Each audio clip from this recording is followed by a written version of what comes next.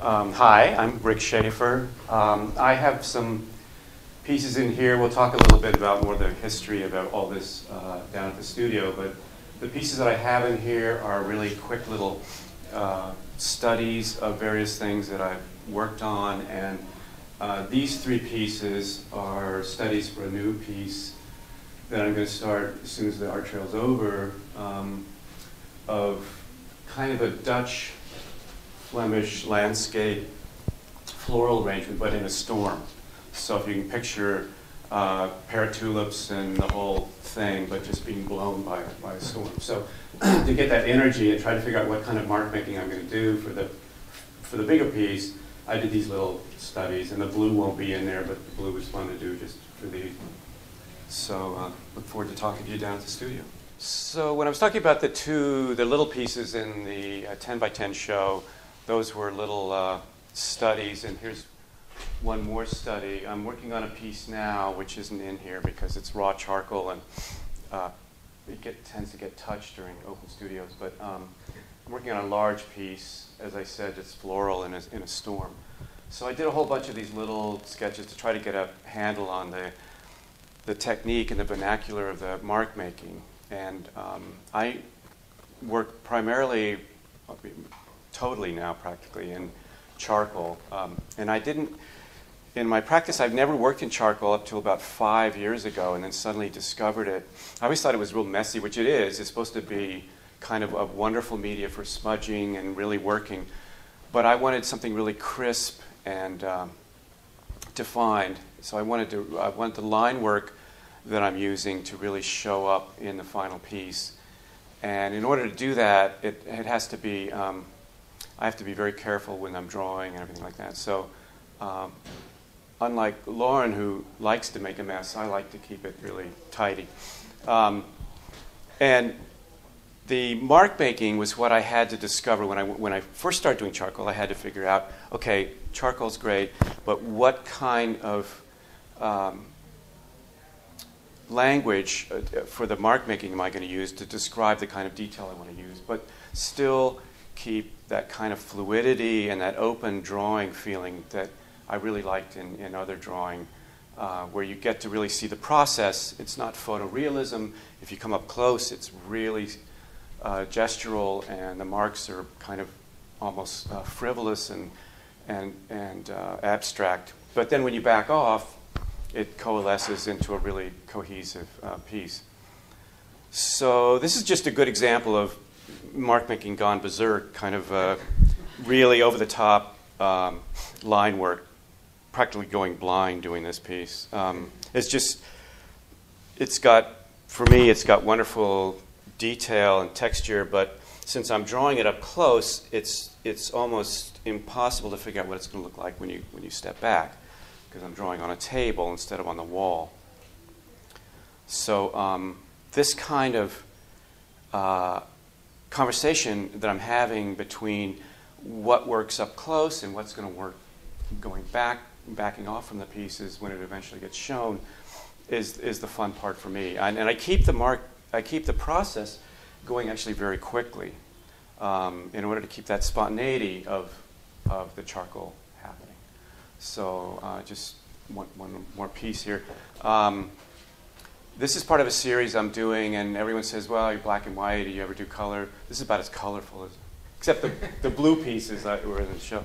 Um, this is just introducing some pastels and some chalks, and here I'm I'm working on a synthetic vellum, which has got a beautiful tooth to it, and it also has the beautiful property of being able to let, be left out in the elements. Um, once it's fixed, uh, humidity doesn't affect it, and heat and sunlight and everything. So they're very, it's a very uh, stable uh, medium to draw on. One other aspect of it is you can come in from both sides because it's translucent.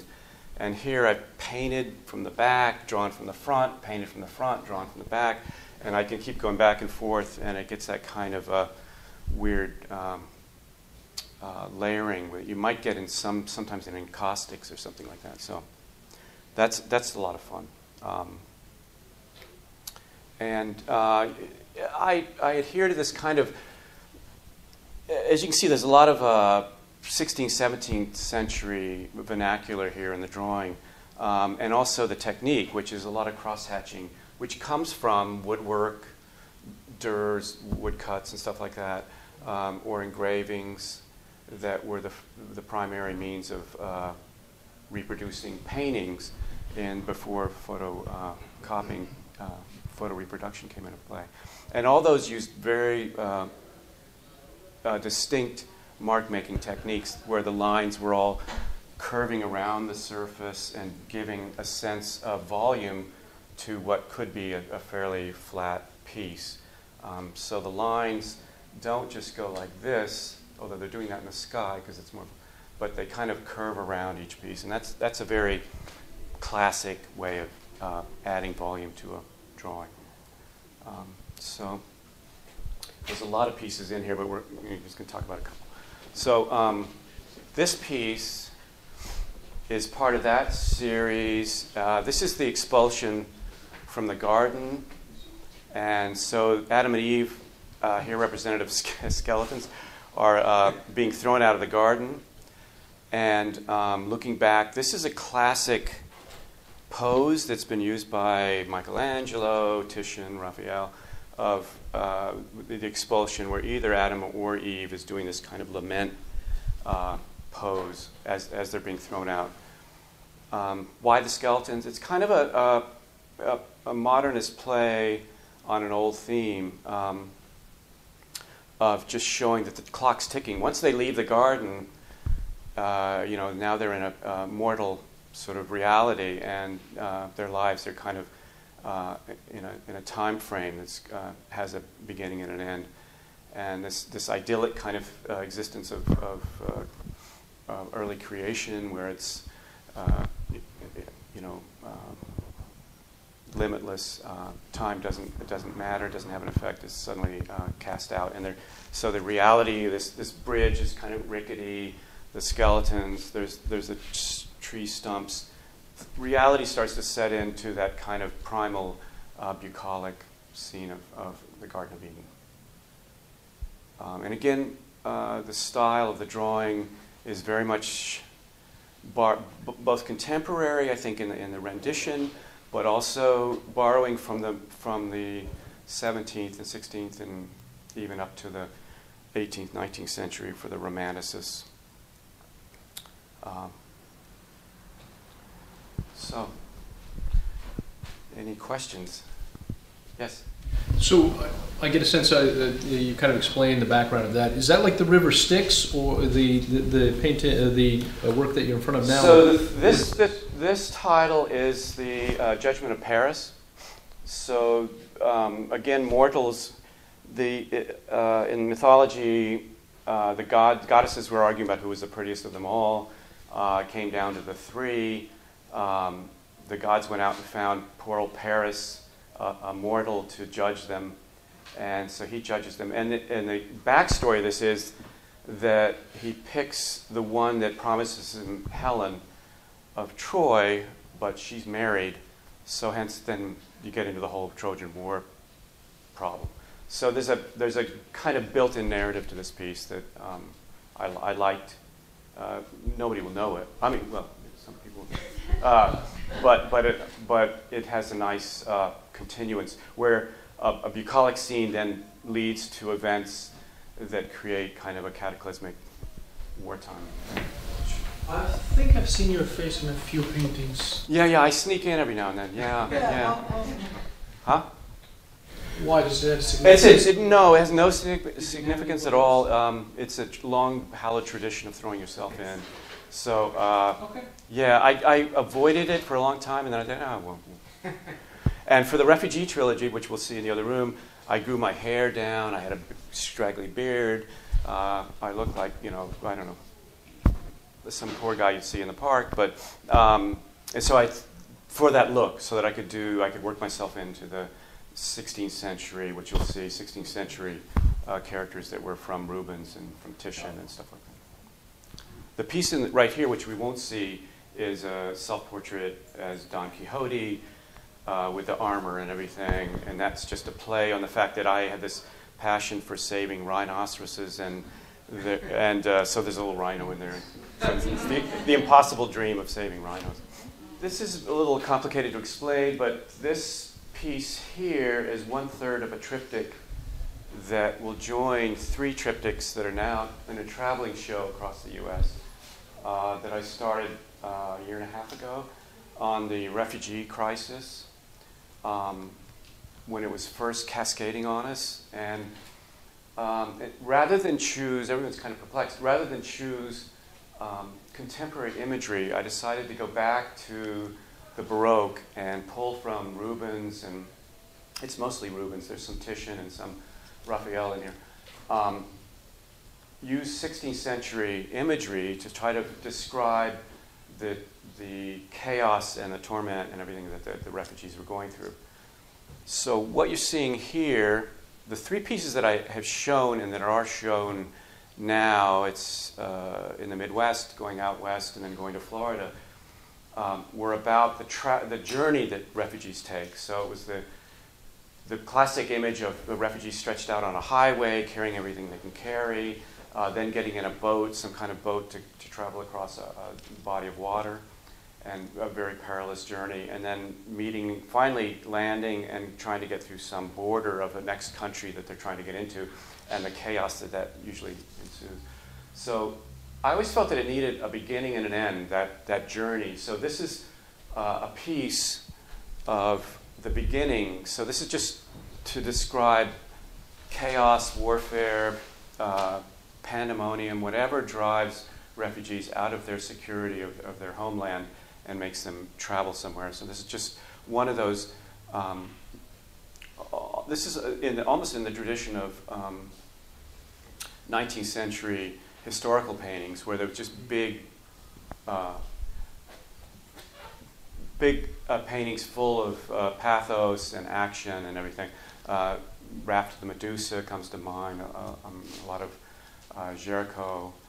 Um, so this is the beginning piece. So what you're seeing on what we just saw was this left side here. And then I will do the two uh, other panels for this triptych, and the piece will end up being 8 feet by 15 feet or something um, to match the first three. Um, and here, I've thrown everything together. You, you would never see angels punching people and getting into, getting into, a, getting into a brawl with people. But uh, here, everything is just happening. Animals are involved, the dogs, as you can see. Um, I get in there a little bit. Um, so it's just it's just chaos on a grand scale. Both the heavens and the earth and everything is just involved in this uh, chaos pandemonium.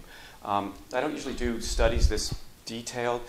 I don't feel it's it's just kind of getting into the time that I have to do. But um, I figured I would on these two because I'm trying to actually get some funding to finish this series. So I needed to show them a little more in depth than I normally do. This would be so. This is called prologue. This is called epilogue. They'll sandwich the three pieces that I've already done. This is where they finally get to some place and they're trying to rebuild, trying to get their lives started again. Um, it's only males, which you know, you know, I'm aware of. Uh, the women obviously are crucial to the whole to the whole journey and, and the whole rebuilding and effort and everything. Uh, but there was just these great, massive uh, Rubenesque guys that were in the raising of the cross and this is uh, Titian's uh, uh, Sisyphus carrying the rock. Um, these two were carrying the, I think, uh, from the deposit from the Christ uh, coming down from the cross. This is from um, Rubens, um, the the uh, striking of, of Christ. and then there's these elements, 20, 20, 20th century elements brought in the steam shovel, the turnbuckle, uh, the guy on the crane uh, next to you know 16th century armor. Um, so and, and and conspicuously in the background is is Bruegel's Tower of Babel, which to me just signified that even though there's a rebuilding process going on, there's always the potential. Humanity always has the potential of screwing it up and, and making some big uh, mess of the whole thing. So that's just a warning, kind of cautionary tale in the background. Um, So a lot of these have. I won't get into a lot of it. They, they, a lot of have, a lot of them have specific energy, a lot of spe- specific specific direction that the, the action is taking, and that's uh, the difficult part of drawing from old paintings and trying to make them work in a new context. In a new, you're basically taking old actors from other plays or movies and putting them into uh, a new uh, a movie, um, but making them all work as a unit when they were all in different contexts and everything. Uh, that's part of the part of the real issue, part of the real uh, challenge of, of, putting these big pieces together. So I'll stop babbling on. So Rick, I'm yeah. curious when this started. Your your your working with 16th, 17th century just with the technique. yeah, it? just with the uh, refugees. Um, I don't know. I think I'd been up to Yale and I saw some um, Last Judgment pieces that were also 16th, 17th century. And they just had that right kind of chaotic, awful, you know, challenging, you know, uh, mess of humanity that were involved. So I thought, well, I just, I can't do better than that. So I'll just. now you moved um, this series apart. The ones we saw in the next, in the other room, with the skeletons, sort of have moved. You're still yeah. yeah, yeah. somehow well, I'm not going to. I'm not going to continue using. Uh, this was just for this particular project, yeah. so I think this kind of using the. I mean, Rubens was such an incredible. I mean, whatever you think of Baroque art, and you know, it's certainly gotten a bad rap ever since abstract expressionism came in. Um, it's just gorgeous what he does with the human body. Um, I like it in black and white. I always like the uh, the engraving renderings of his paintings. Sometimes uh, he, he, he's a beautiful colorist, but um, I like the black and white a lot. So uh, I am skirting your question. I'm not.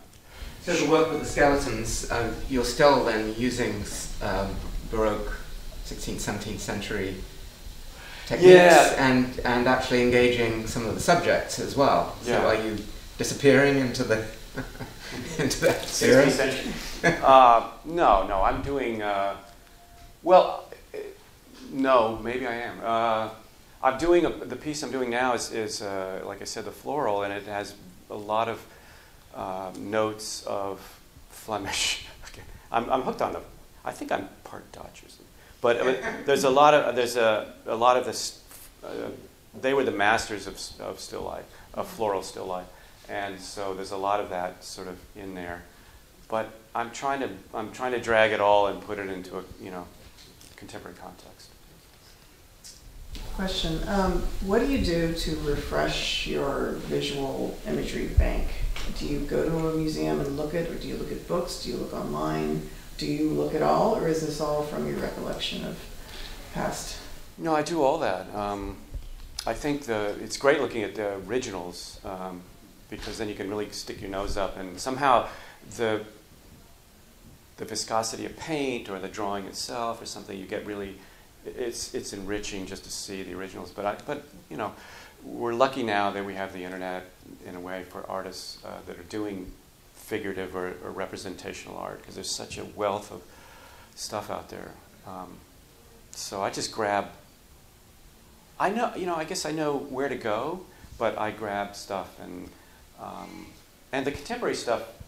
I'm just sort of making up a lot of it. So you know, filling in the gaps. I may find a uh, a tree I like, a part of a tree, and then I, I need a ocean behind it, enough, you know, something. So it's, it's that kind of magpie jumping around, grabbing stuff. Yeah. Going back to the refugee story, how do you end the story in the third part of the trilogy? The trilogy is just, the trilogy ends, the three pieces that I originally did ends with a border confrontation. So they're at a, some kind of demarcation where they're leaving one safe, they're leaving their country or another country and trying to get in, like you know, what happened in Europe and what happened in Turkey, what happened all over, where, where people are trying to not let them in or let them in, and there's always this kind of chaotic, chaotic confrontation. That's where the story would go end, though. But that, that's why I did. Yeah. That's why I, I felt that it was always kind of um, left hanging. And uh, this doesn't really wrap it up cleanly. It, you can't wrap it up but um, it's, this was an attempt to sort of put bookends on that on that part. Yeah. Rick, a, a simple question. So when we look at the first, is this the first piece of the trilogy? Is this No. Well, this yeah, this will be the first part of the first piece of the trilogy. from the moment that you put your first stroke on this work? How long did it take you to for it to come to fruition? It's so detailed. Yeah, well, um, I work very quickly. It's very gestural, the marking, so it doesn't go. It's not as slow as it would seem, um, but it yeah, it takes a long time. I think the original three huge pieces took six months. Um, this probably took a few weeks or a month. Um, so these little guys take. I mean, I can't draw small anymore, and this to me is small. So um, it, it I don't. I just don't. I don't enjoy as much as getting really big, and so uh, these take these actually take longer. Okay,